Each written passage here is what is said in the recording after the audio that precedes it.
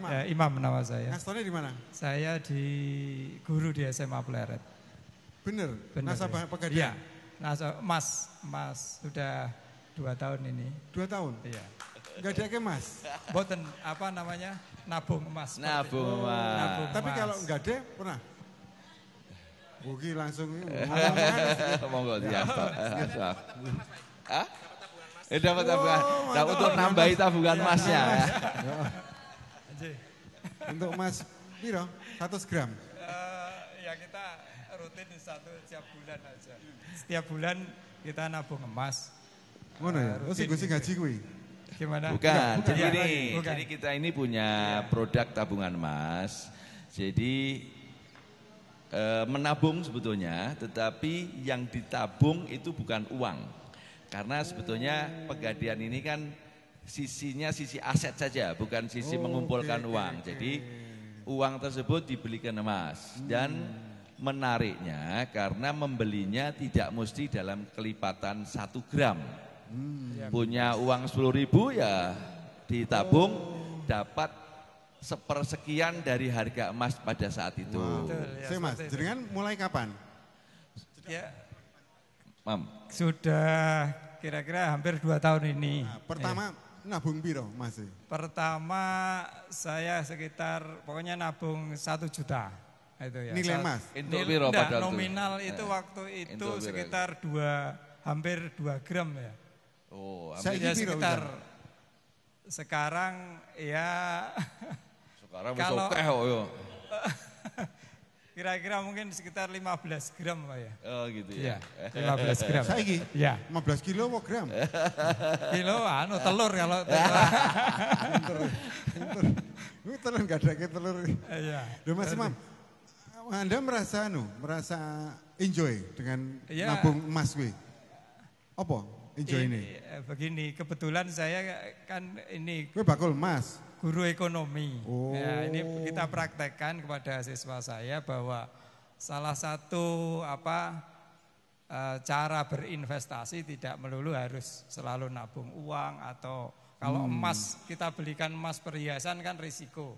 Oke. Kita sebenarnya beli seperti orang Jawa ya, beli emas hanya saja tidak kita simpan tapi kita titipkan di Titipkan pegadaian, juga, ya. iya. Ya, itu, ya. Urung tahu ketelingsut to ning pegadaian. Mas Imam, bisa kuwi jenengan ke pegadaian sudah bawa emasnya atau bawa uang? Uang. Bawa Jadi uang. setiap bulan iya. Setiap oh, tapi bulan khusus emas. Jadi Ma, Pak Mas Kimpling datang ke pegadaian bawa uang, beli emas, tapi emasnya disimpan di pegadaian. Ora Dan- weruh barangnya no? Oh barangnya ada. Oh, ada. Jadi ketika uang itu ditabung itu langsung dibelikan emas oleh pegadaian. Iya betul. Terus sewaktu-waktu ono duit pokoknya nyemplung kayak ngono Mas. Iya. Betul ya, sewaktu-waktu kita ada uang eh, untuk Lah keuntungannya Ya nanti kalau misalnya Betul, mau ya, diambil, ya satu itu kan namanya nabung. Dua nanti kalau harga emasnya naik kan jadi jadi ikut naik. jadi dapat dua keuntungan ya? Ya. Dari sistem tabungan yang berlaku Ya. ya, dan eh, keuntungan harga fluktuasi emas. betul betul itu ya? ya, ya. Jadi Nah, nanti capital kalau gain-nya itu di Monggo. harga kenaikan harga emas gitu ya. Oh, jadi ora dipatok regone pas jenengan store emas pertama enggak ya? tidak, Mas. Jadi Enggak pada waktu beli hari ini nabung masukkan 100 ribu itu sudah dibelikan emas dengan harga hari ini. Hari ini. betul. Iya. Iya. Maksudnya saat terusnya orang hari ini toh regone? Enggak ya nanti Tergantung nanti. besok kalau besok nabung 100 ribu lagi ya dibelikan emas harga besok. Oke. Iya. Lah nek dijaluk dijupuk ya iso. Nah, kita bisa kita Bisa. harganya harga sekarang itu ya Mas. Ya, Yudi? harga Iya, sekarang. Wis untung Eh, malah ya. Apa? Bisa untung oh, ya. bisa Jelas untung. untung. Iya, ya, betul. Ya, ya Iya. tergantung. Harga emas itu tahu dalam jangka ya? panjang pasti naik. Iya. Iya. Tapi memang secara jangka pendek dia seperti biasa juga fluktuatif. Ya, Tapi, tapi dalam jangka kan panjang. naik, Ya. trennya selalu Ya. naik. Itu tren. Ya. Sekarang nilainya berapa Mas? Untuk sistem anu keuntungannya jenengan itu transfer otomatis. Bukan, bukan. Jadi gini, di tabungan emas itu sebetulnya tidak ada yang namanya bunga seperti di tabungan Oke. biasa. Jadi intinya orang membeli emas tapi emasnya disimpan di pegadaian. Nah nanti eh, emas itu kalau sudah kelipatan 5 gram bisa diambil. Bisa diambil dalam bentuk eh, batangan, Batangan. maupun bisa diambil dalam bentuk perhiasan. Iya. Eh, ada ada biayanya untuk menarik ya. mencetak dan Iya. sebagainya. Tapi memang sebetulnya tidak ada tidak ada keuntungan dalam bentuk bunga tidak. Oh, oke oke oke. oke, ini oke. karena ini syariah, syariah. Jadi betul-betul orang hanya memberi emas, Titip kemudian ya dititipkan. Memang ke depan kita sedang memikirkan untuk bisa menggunakan tabungan itu sebagai kolateral. Jadi kalau butuh pinjaman Bisa bisa, digadekan, konversikan. Ah, ya dikonversikan itu bisa ya, dapat sebagai ya, jaminan. sebagai jaminan. Iya. Kok idenya kok mbiyen kok tertarik niku nabung emas pripun Pak Guru? Sebenarnya bukan saya, ini malah istri saya yang tahu. Oh. Dia itu pengen membeli emas waktu itu batangan itu, Iya, emas pegadaian itu. Iya, ya. Di, di- pernah itu sudah sudah kita saya juga punya itu emas yang di batangan yang dikeluarkan pegadaian. Hmm. Cuman kan kalau disimpan di rumah itu kan Ora tenang ya malah. ya kadang Oh. ya kecil kan berapa itu kan disimpan nanti ketelingsut atau ke mana akhirnya kok kebetulan keluar ya Program ya, itu ya? produk Produk ini ya. produk Tabungan ya program ya? tabungan emas langsung Wih. ya sudah di kita anu saja lah tidak tidak tidak harus ke bank itu ya Yang tapi disimpan ke di rumah Mas Imam aja sama ibunya. Mas Iman itu kok siapa? Teman SMP, SMP. ini. Iya. Gimana Pak Edi dulu waktu SMP? dari dulu memang top top ya, kalau saya kan enggak dari dulu Sekelas ya? Kebetulan tidak Ya, ini enggak satu tidak. kelas, tapi Karena satu di SMP 5 angkatan. kan 10 kelas. Ya. Cuman beberapa tahun terakhir ini kita kan sering kumpul. Eh, sehingga ya. Wah luar biasa. Tabungan emas ini baru ini loh. Informasinya menarik sekali. Nabung emas ya. Iya. Liane ono kuwi sistem ono. Di instansi liane, Eh, perusahaan liane. ada sih, ada sih, ada. Ya, Di bank-bank juga melayani itu. ya yang syariah khususnya ada. Oh, ya, gitu. Sing dalu, Mbak. Sugeng dalu. SMA setunggal. Nggih. Seku- Setunggal kelas nopo? Eh, Enggak ya, IPA Mbak, ya? 4 enggak. Betul kelas. Ini Satu seangkatan. angkatan, satu angkatan. Satu angkatan. Ngas teman-teman di? Sudah tidak. Oh, iya. Kemarin Sudah di? rumah. PKBI pernah Oh, terus iya. pindah lagi. Kenal juga dengan dunia pegadaian. Monggo Mbak. Eh, untuk saya belum pernah Belum pernah? belum pernah menggadaikan. Belum pernah menggadaikan. Tapi mendengar beritanya bagaimana pegadaian? Eh, ya cuma tertarik dari tadi Mas itu sudah Oh baru ini tahu ya? Tadi ya. Baru ini tahu dari tertarik ya? Tertarik Kalau selama ini kalau menabung. ada dengar pegadian apa Mbak? Oh gini, wedi. untuk apa ya? tertarik nabungnya saja. Oh ini tadi ya nabung emas tadi ya, tertarik ya? Sama yang amanah tadi, yang mot Sudah motor itu ya? tapi belum Lu motor pakai DP itu? Eh, ada ada, tapi minimal sih 10 persen aja. Belum persen. Bagaimana rasanya konco SMA sekarang dados direktur pegadaian? ikut bangga. Dulu sempat main bareng atau geng gitu? Sempat. Iyalah. Ya teman SMP juga. Iya teman Oh SMP, SMP teman 5, SMA. SMP iya. 1. Oh. Kenapa yang terkesan dari Pak Edi dulu? Itu SMP SMA? Eh, orangnya ramah. Dulu Banyak alim kok ya. Mbak ya saya ya. Banyak teman ya ya. Selalu jadi ketua. Oh iya. Eh, berkelahi dulu? Enggak. Oh enggak. Berkelahi dengan lain jenis ya. Iya. Boleh ada door prize untuk Mbak Rena? Ada. Di, Ya. Wah, matur matur nuwun, sembah Mbak. Monggo Mbak, makasih. Ada pesan apa Bu untuk Pak Gadean, untuk Mas Edi?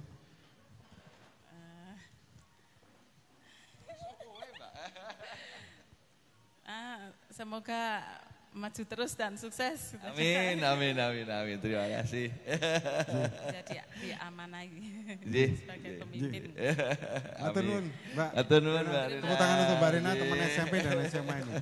Siap panggil yang Kakanwil Jawa Tengah? Wah, ini Pak Pak Mul. Mul. Ya, no. Ini Pak. Mana Mas? Belakang Mas. Oh jadi Kanwil Jawa Tengah ya? Kakanwil Jawa Tengah itu membawa IDI juga ya Mas? ya? Jateng DIY Pak. Nggih, Pak, Jateng itu DIY. DIY masuk ya? Nggih. DIY ada berapa cabang? DIY itu ada 12 cabang, 11 konvensional, satu syariah. Outletnya ada 82, Pak. DIY tok. DIY saja. ya. D- DIY ada 68. Oke, totali Jawa Tengah DIY Jawa? Tengah dan DIY itu ada 61 cabang, 430 outlet. Ya. Na- nasabahnya 1,2 juta. Wow. Ya.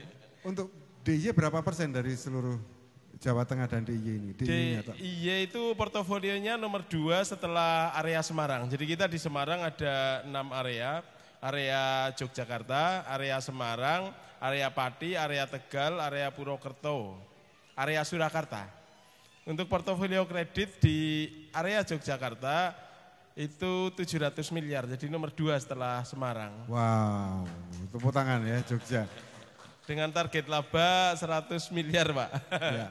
Terus eh, bagaimana peta eh, nasabah? Mayoritas apa untuk Jogja? Jadi yang pertama Pak untuk Jogja saya apresiasi ya, saya sangat surprise untuk Pak Edi Pak Direktur kami, boleh tepuk tangan teman-teman pegadaian ya. Karena Pak Edi itu kan dari teknik sipil, terus juga dari eh, global industri gitu. Tapi cepat untuk belajar pegadaian Pak. Pinter wow, untuk SD. Jangan-jangan kita malah kalau tidak update bisa kalah Pak, terus terang itu. Terus juga di eh, Jogja itu karakteristiknya itu adalah nasabah terdidik Pak. Jadi memang kalau untuk penjelasan itu harus lebih jelas, lebih firm karena pasti satu statement akan ada banyak pertanyaan. Itu kalau Jogja. Yang menarik lagi bahwa mayoritas pemimpin di BUMN, pemimpin di pemerintahan yang seusia kami, seusia Bapak itu pernah merasakan eh, memorable historinya Pasar tentang Sentir tadi ya? pegadaian tadi itu. Keadaan jalanan tadi ya. Pegadaian, iya. Gak ada kejin. Nah ini yang ingin kita raih kembali sebetulnya. Masyarakat di Jogja, kalangan mudanya, mahasiswa, pelajar itu kenal pegadaian. Handphone ya? Handphone, terus juga kemarin kita di UGM dengan Prof. eh, Hapsoro, kita dengan Pak Edi di sana, Pak Edi menyampaikan tentang inklusi keuangan. Salah satunya tabungan emas ini yang tadi disampaikan itu. Nah Alhamdulillah teman-teman di UGM itu eh, penduduknya dari Fakultas Teknik Pak. Jadi ekonomi apa pada ikut untuk berinvestasi di tabungan emas. Ngerti Pak? Jadi perkembangan tabungan emas cukup bagus di DIY. Tabungan emas di DIY dengan jumlah rekening sekitar eh, 48 ribu Pak. Jadi cukup lumayan karena di satu sisi untuk pembiayaan kita melayani untuk investasi melalui tabungan emas dan pembiayaan emas mulia Pak. Jadi kalau dinilai untuk Jawa Tengah atau mungkin DIY, itu ada berapa kilo yang nabung emas ini atau yang disimpan oleh Pegadaian? Kalau untuk nasional kita eh, dengan jumlah nasabah itu eh, sudah hampir satu juta Pak, itu kelolaannya sudah 1,3 ton. Wow. Nggih. Jadi kalau Jogja mungkin bisa 5 persennya ya sudah mungkin sekitar 200 kilo untuk eh, Jogja atau Semarang dan sekitarnya itu sekitar itu Pak. Nyimpannya neng di? Ada kita. Di kantor pusat. Di kantor pusat ya. Aman ya? Insya Allah aman.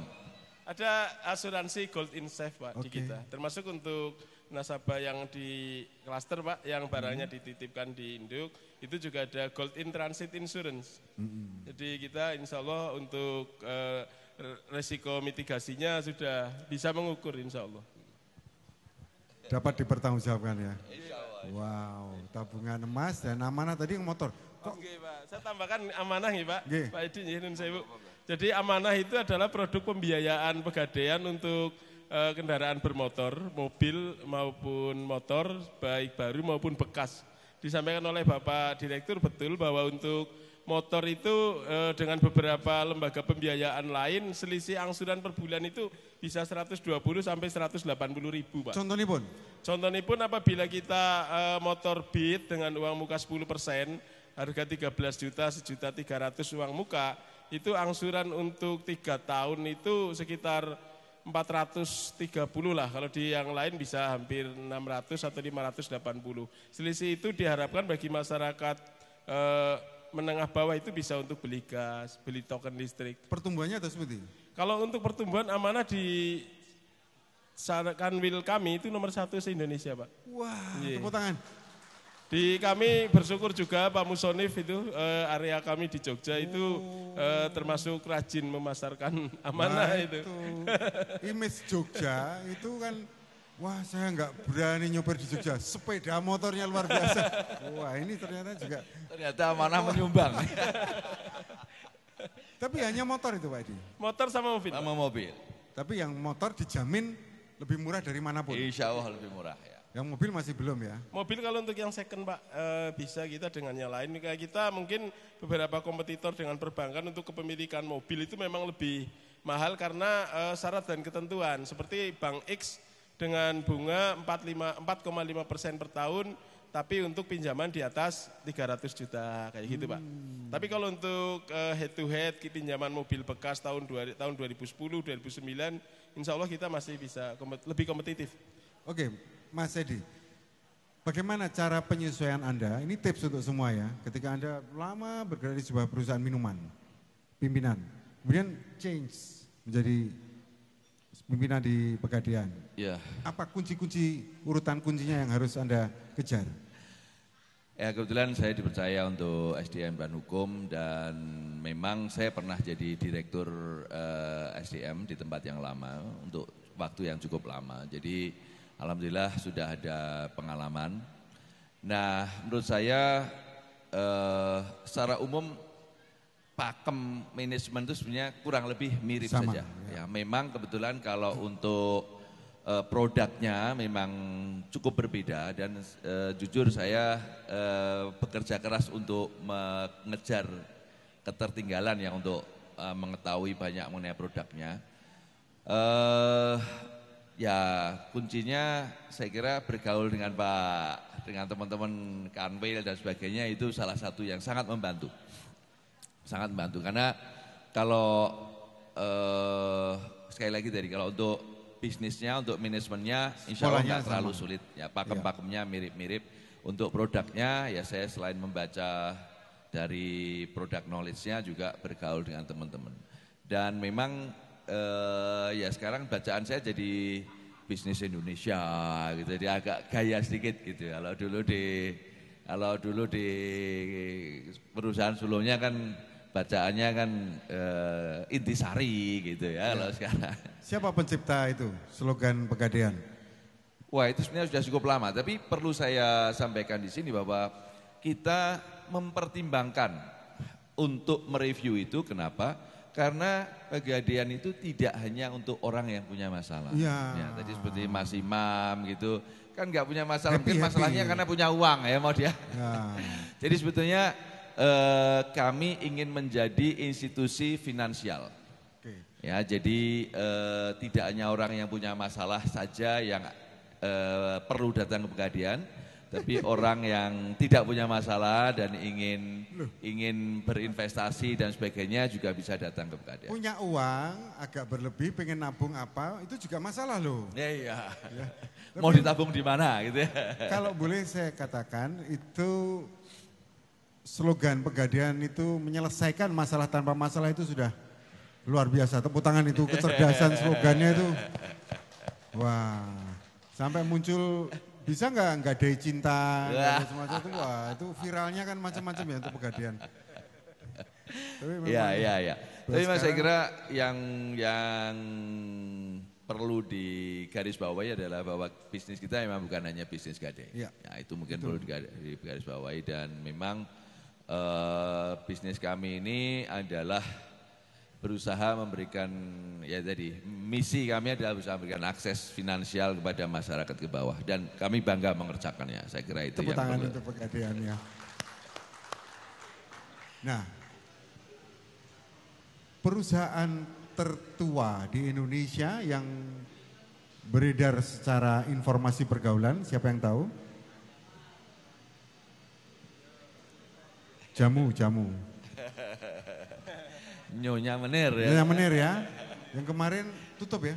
Kemarin Tutup, tutup. terus jadi viral. Ya, Kayaknya udah di- capek berdiri dia jadi dia terus mau duduk dulu makanya terus Ya, tutup. Ada yang mahasiswi itu sejak tahun 1914. Empat, berapa? 14 ya? Ternyata Pegadian di Indonesia lebih tua dari Nyonya Menir. Tahun berapa berdiri Pak Edi? 1901. 1901 Pegadian di Indonesia berdiri. Wih, jadi umurnya tahun 2018 Eh, jadi sudah insya Allah tahun ini 117 tahun. Insya Allah. 117 Ya, tahun. Ya, ya. dan tanggal berapa itu? Tanggal 1 April. 1 April. Ya. April Mop. Eh, Gara-gara itu Tapi Pegadian Pak, April benar. Mop muncul tuh. Iya. Siapa pendiri Pegadian? Oke, Pegadian ini sebenarnya didirikan oleh pemerintahan Hindia Belanda dulu. Dulu namanya Bank Van Liening. Jadi memang itu adalah eh, organ pemerintah di bawah Departemen Sosial zaman Hindia Belanda yang memang tugasnya ya tadi eh, memberikan akses kepada non bankable masyarakat yang tidak bankable. Nah, jadi memang eh, makanya masuknya ke departemen sosial karena adalah salah satu bentuk perwujudan ya, mungkin keadilan sosial pada waktu itu. Ya. Iya. Jadi memang eh, organ organ pegadian ini memang dibutuhkan dalam dalam satu pemerintahan gitulah ya. Oke. Ada seorang hadirin malam hari ini yang dia tidak pernah melepaskan sertifikat rumahnya dari kotak jaminan. Saya panggil ke depan Mas Jatmiko. Jatmiko Budi Santoso. Ini ownernya Legend Cafe. Juga ownernya Kampai juga itu.